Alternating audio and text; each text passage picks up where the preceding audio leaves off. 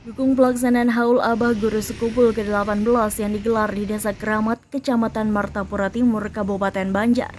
Dinas Kesehatan Kota Banjarbaru dirikan posko kesehatan untuk jemaah.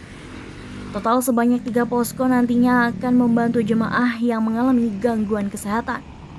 Untuk lokasi posko sendiri nantinya akan didirikan di Bundaran Kamaratih, Landasan Ulin, Bundaran Simpang 4, dan Taman Vanderpil.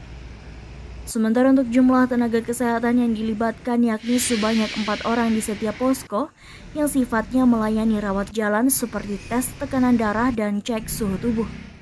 Uh, jadi kita pemeriksaan dan obat-obatan rawat jalan lah. Rawat ya, jalan. Untuk kedaruratan. Kalau yang berat akan ada rujukan ya ke rumah sakit di Serabu Jaleha atau.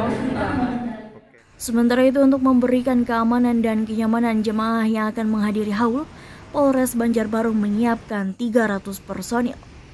Ditempatkan di bandara, di Novotel, kemudian di titik-titik yang yutun-yutun uh, yang sekiranya mengakibatkan kemacetan masyarakat itu kita jaga. Haul Abah Guru ke-18 sendiri akan digelar pada Kamis tanggal 26 Januari 2023 di kediaman pribadi Gubernur Kalimantan Selatan Sahbirinor. Pelaksanaan haul sendiri nantinya diperkirakan akan dihadiri ratusan ribu orang. Banua TV Kota Banjarbaru melaporkan.